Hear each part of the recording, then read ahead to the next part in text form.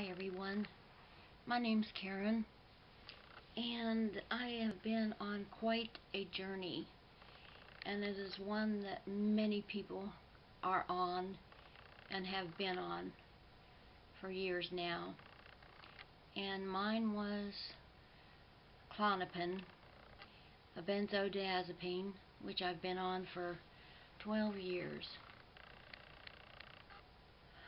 I had no idea exactly what I was going to experience. I, I just had no comprehension. I'd watched some videos. I've watched tons of videos since then, during that time, and always seeming to be um, still feeling like I was alone and I still couldn't reach out to anybody because watching people on YouTube it's not easy when you're going through benzo withdrawals to be able to function to to be able to read because you can't see and you can't type. Your mind has been so disfigured and everything is warped. It has been the worst experience in my whole life. And we've all had bad experiences. And you think, can it ever get worse? I don't think anything could ever get any worse than what I've been through. What I've put my husband through, and especially him, but I have my sister also, but um, very little time being able to talk on the phone to her or even be with her at any time. And I'd say over a year, over a year. I started my journey in September of 2018 and I finished my journey as of this month. Actually, it was, I would say, um, October, Tuesday the 1st was my final day suffering an unimaginable torture that I I and others can't even begin to describe or even want to even relive it. When you've gotten so far down the road that you just want to get so far away from it that you don't ever want to think about it or talk about it again. And I I really didn't plan on doing this for quite some time because it's so fresh. I have to say that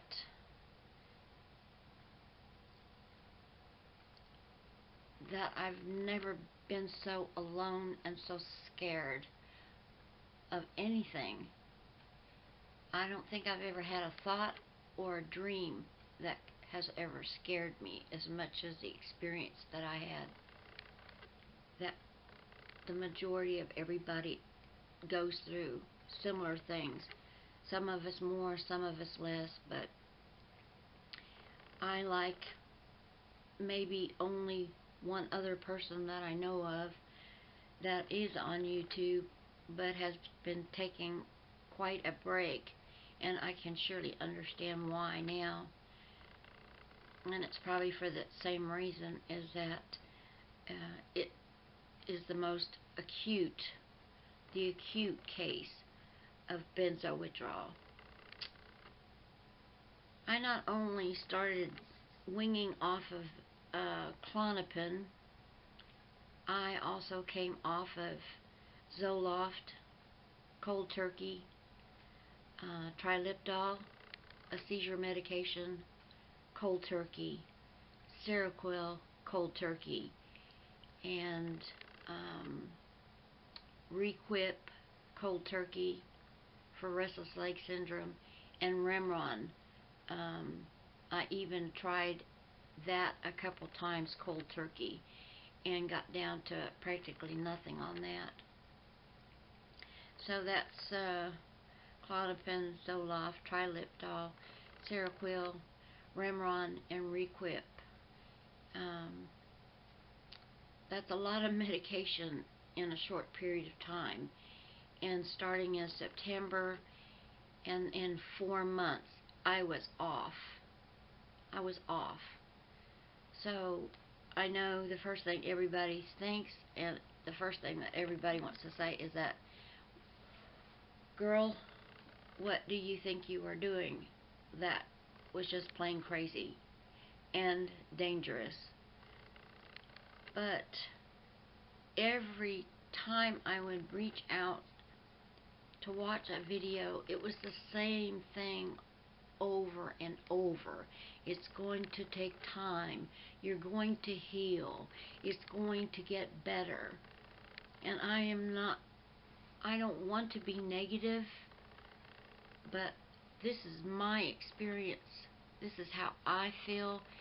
This is what I what I thought the whole time and what I think now is that it wasn't worth it. It it wasn't worth it. The damage was so severe and being on it for that long and that many drugs was going to take me years. Years. And just what I went through in the last four months, I could not go on years and years. Go through years and years of that. No way. And needless to say, I didn't. I made that I made the decision that I wasn't going to. It wasn't anything planned. It was that the desperation and the torture was more than I could bear another second. So I'll probably make this short, but I just want to say that I'm sitting here right now and I'm alive because I almost wasn't uh, Tuesday. Tuesday is the last memory I have after I took a whole bottle of um, muscle relaxer medications. 45, um, I forget the dosage, 45 pills, and that's the last thing I remember until my sister and my husband started telling me this unbelievable story about a sister and about a wife in ICU and the things that they witnessed that I have no comprehension of anything. The only thing I remember is waking up someplace in hospital clothes I was in a different state. No, I was still in Oklahoma. I thought I was in a different state. I thought I was in Texas. But they had transported me um, after two days into a um, mental hospital in the city here. And I spent nine days I refused to continue to take the medication that I had worked so hard and went through so much agony and torture to get off of that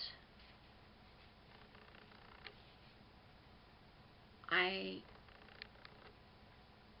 it came to a point where there was no escape. I couldn't try to kill myself again there just wasn't any way and I begged I begged them to uh, put me back on the Klonopin, but at the lowest dose and the Remeron for sleep, and that was it. So I came a long way. I'm only on those two medications plus Requip for restless leg if I need it, which I have not. Um, they're at lower doses, way lower doses. So I know that I will be on these the rest of my life. The damage is done.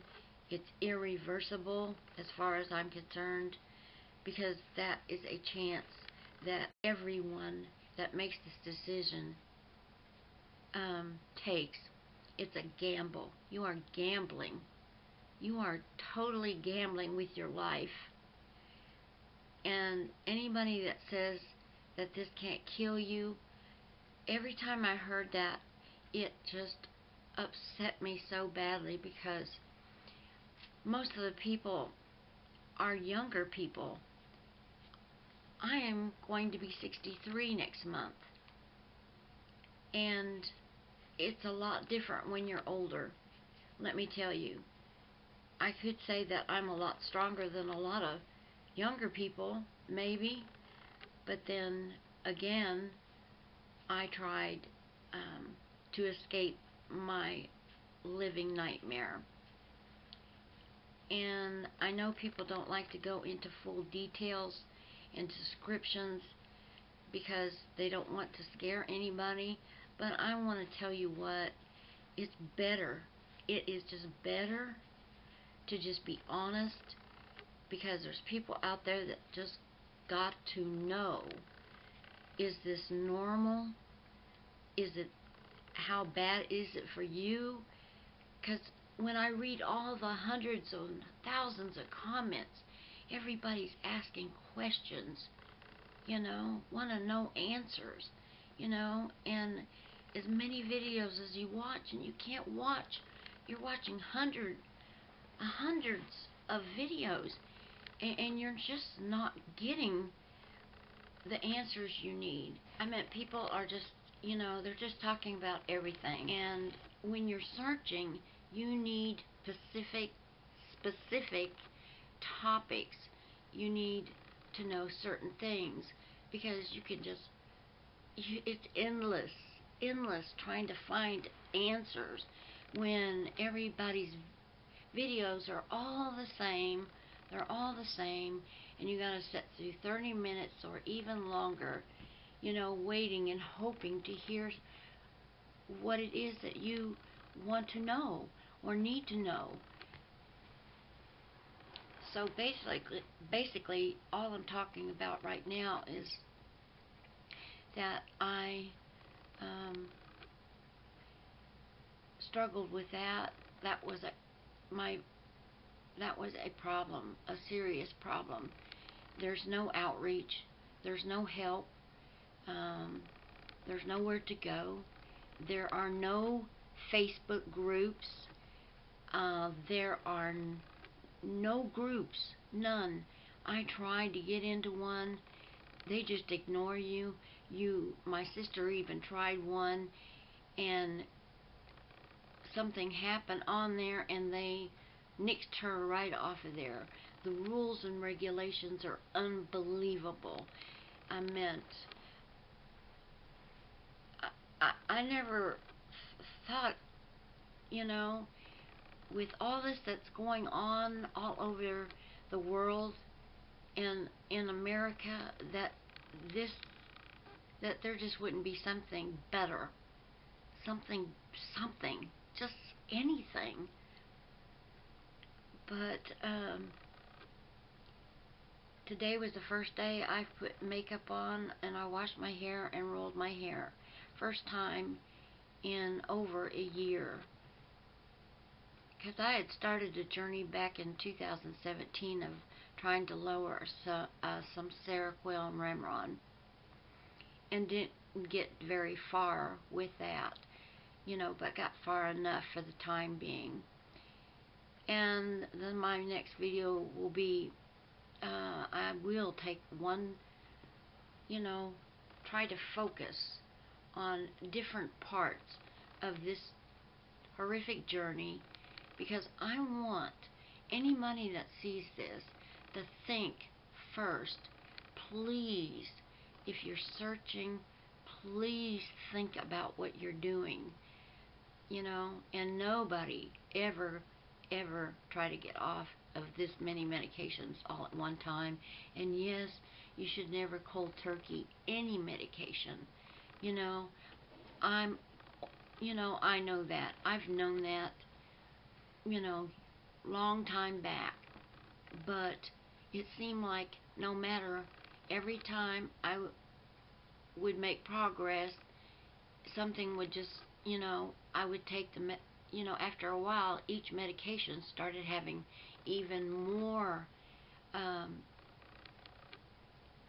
uh, more side effects, more strange things happening. It, it is a world of chaos and insanity. You are losing your mind. You, the world is not the real world. It's it's not real. Nothing's real. You're not real. My husband's not real. My sister wasn't real. Food wasn't real. Nothing was real.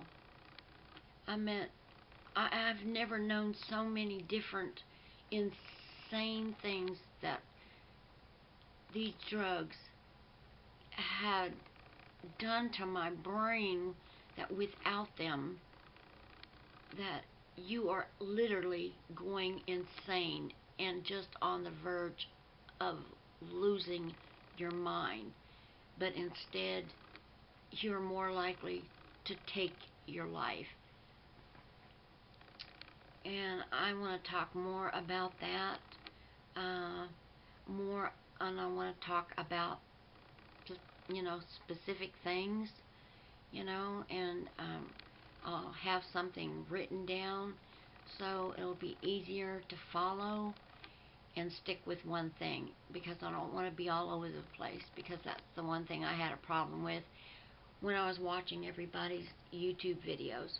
And thank God for all the people that are making the videos, but we've got to try to change the way that you do make the videos I meant most of the videos, I must admit, are the people that have that have gotten so far, one to two years out, you know, and are recovering. You know, you you seldom see the people that are in the worst state because it's it's next to impossible to record or download or do anything. You can't see, you can't read, you can't think, you can't type, you can't even talk. You stutter. I mean, it, it's next to being born retarded. I, I hate to say that. And let me tell you what, what you see right now is not what, before Tuesday, I didn't look like this. I aged 20 years. 20 years, and I am not kidding, 20 years. And I have taken, I met such a drastic transformation because what I looked like was death, was death. And even my husband said, you know, even you're laying there, you know, al almost dying or going to die, every night he didn't know if I'd still be alive or not. You know?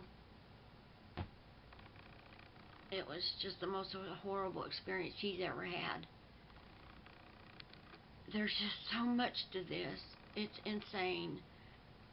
And talking about the doctors and where I've come in such a short time, you know, and how my insurance company, Blue Cross and Blue Shield, has just stepped in you know, they've done more for me than anybody else has so far. And there's just a lot of, you know, everything's, I'm still kind of, I'm raw. I'm not, you know, I'm still not who I was before. And, but it's nothing like it was. Nothing at all. I can function I can think, I can do things, you know, but it's little by little by little. Because it's an awful scary thing to be gone for so long in this other universe that no one knows exists, you know, that you're in, and now you're back in this real world, and it's, it, you don't know what to do. You don't know where to start. You don't, you don't even know who you are anymore. You're not the same person. So anyway, that's all I wanted to say. Um, is that I guess I should uh, um, see you I I still can't form my thoughts or think real well you know you can't expect everything to be perfect just because you go back on the drug that's the other thing I wanted to talk about I had to beg them to put me back on the Klonopin at a lower dose I had to I, I couldn't take it anymore there just was no way out of it. No way. And I wasn't going to spend the rest of my life. I couldn't. How can you suffer that long, over a year? How can you suffer that long, that intense, day in and day out, with hardly any what they call windows, when it's just all waves, and every wave is never the same, and things are just getting worse and worse and more bizarre as you go. So, with that, I'll cut this one short and I shall do another one. So for all of you out there that are on this journey or thinking about it, um, please check me out again and maybe I can be more helpful because this one really wasn't all I wanted to say was just kind of what was on my heart right now and um, and that yes this can kill you. It can kill you in many different ways. Your, you know, so your heart can only take so much, and your brain can only take so much, and something's gonna give, and it did in my case. And I know that there's many that aren't sitting here today being able to talk to you like I am right now. So for my next videos, I want them to to be more beneficial. I want them to be worth something. You know, I really, really didn't want to do this because I had said if I ever got through this, I don't want to ever talk about it. I don't want to see another video. I don't ever want to speak about it again. You know, it was just that horrible. But um, I'm going to do my best to try to do that. So, thank you so much for listening. Till my next video. Take care and be safe. God bless you all. Bye-bye.